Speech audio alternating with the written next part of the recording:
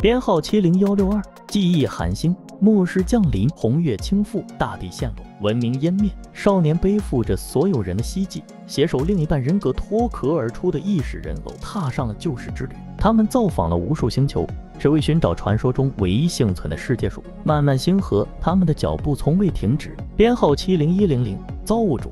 来自尼比鲁星球的外星文明可以将自己的傀儡幻化出人文明中神的模样，其实自身与人类的长相并无区别。本包觉得这个傀儡的设计在局内看来确实挺阴间的，威慑力很足。编号七零幺三二，助手设定。本体设定是一个天才研发工程师，为了让自己能有更多的时间进行研究。所以给自己设计出了一个助手，可以代替自己出席对外活动、社交等等。对内还能照顾自己衣食起居。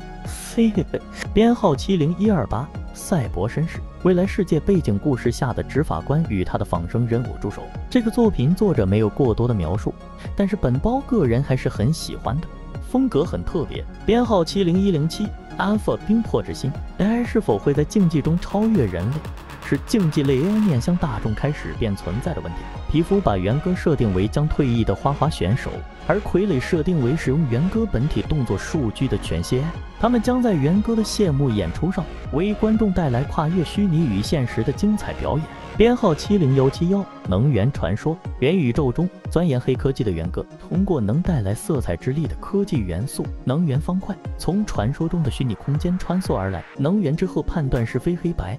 传送搭档用色彩之力和几何元素能源方块战斗，他们同为战友，配合完美，净化世界，维护和平。编号七零幺七七，顺影少年正在玩 VR 游戏，一阵蓝光闪过，他进入了游戏世界。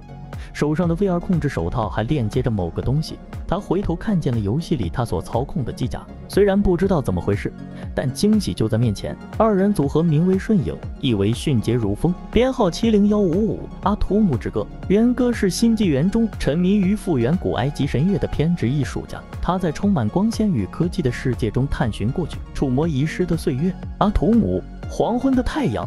无处寻觅踪迹的我。舞台上华丽的傀儡是艺术家追求的极致完美。编号七零一三零，逆旅者。未来能源崩坏，世界的低等生命体吸收了被破坏的能量辐射而成了变异体。人类为了获取能源，则要隐匿魔兽。元歌为了修复因狩猎魔龙和凤凰而残损的傀儡，踏上了穿梭过去与未来的时空虫洞。